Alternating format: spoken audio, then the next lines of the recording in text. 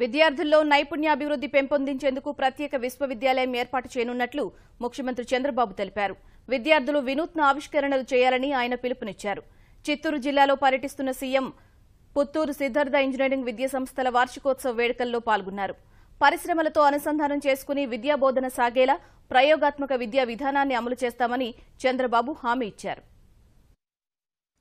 అపారమైన మేధో సంపద కలిగిన మానవ వనరులు మన సొంతమని ముఖ్యమంత్రి చంద్రబాబు అన్నారు. చిత్తూరు జిల్లాలో మూడు రోజుల పర్యటనలో భాగంగా సీఎం పుత్తూరు ఇంజనీరింగ్ విద్యాసంస్థల వార్షికోత్సవంలో పాల్గొన్నారు. విద్యార్థుల విజ్ఞానంపై అపారమైన నమ్మకంతో ఉన్నతమైన విద్యను అందించేందుకు ప్రభుత్వం ఎన్నో పథకాలను ప్రవేశపెట్టిందన్నారు. విద్యార్థుల్లో నైపుణ్యాభివృద్ధి పెంపు కోసం ప్రత్యేకంగా ఓ విశ్వవిద్యాలయాన్ని ఏర్పాటు చేయనున్నట్లు ముఖ్యమంత్రి ప్రకటించారు. మూడు వందల కోట్లతో రాష్ట్రంలోని ముప్పై ఆరు కళాశాలల్లో నైపుణ్యాభివృద్ధి శిక్షణా కేంద్రాలు ఏర్పాటు చేస్తామన్నారు.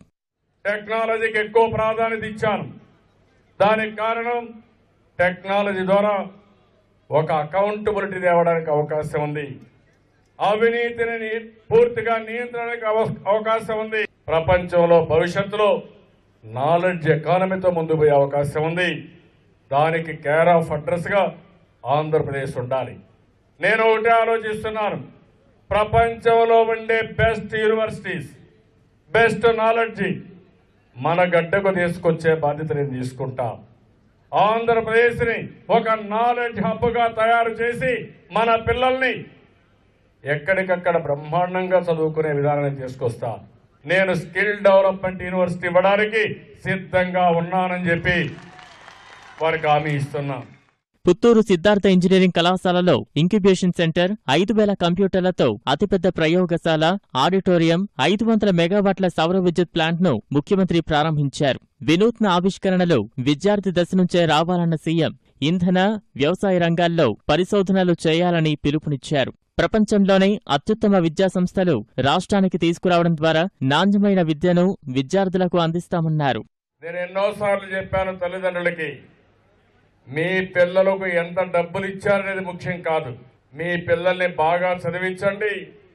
ప్రపంచాన్ని శాసించే శక్తి నాలెడ్జ్కి ఉంది ఆ శక్తి తెలుగు వారికి ఉందని నేను ఆ రోజు చెప్పాను. ఈ రోజు మీరు నిరూపించారు. అయితే నేను ఒకటే మిమ్మల్ని కోరుతున్నాను. నేను ముఖ్యమంత్రి అయినప్పుడు ఒక విజన్ ఇచ్చాను. అది నాలెడ్జ్ ఎకానమీ. ఆ రోజు ఒకటే చెప్పాను. ప్రపంచం మొత్తం అధ్యయనం చేశాను.